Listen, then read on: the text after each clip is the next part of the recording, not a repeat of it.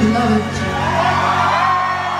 we gathered here today to go through this thing called life. Electric road life, it means forever, and that's a very long time. But I'm here to tell you, there's something else. The afterlife. A world of never-ending happiness. You can always see the sun, day or night.